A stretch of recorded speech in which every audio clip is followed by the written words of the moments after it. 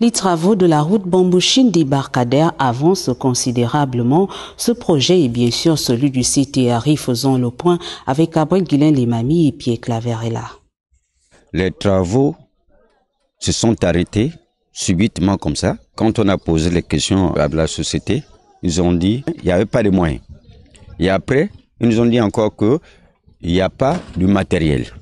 C'est fort de ces propos que nous nous rendions sur le projet de construction de la voie en béton de 1,5 km au quartier route Bambouchine débarcadère.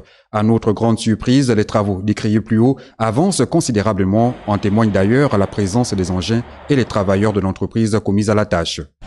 Les travaux euh, lancés par euh, l'OCTRI euh, dans la zone de Bambouchine en allant au débarcadère sont en train d'avancer petit à petit. Vous allez remarquer qu'il y a des engins et il y a des équipes qui sont sur le terrain pour l'exécution de ces travaux.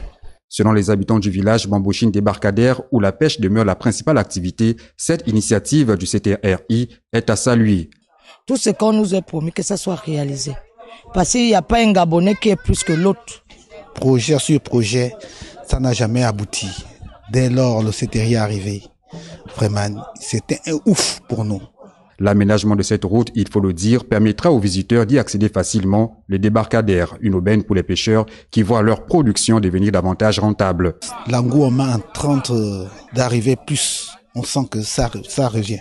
Longtemps attendu, la route est là, elle se construit. Le souhait pour les habitants de cette partie du Grand Libreville est de voir ce projet arriver à son terme.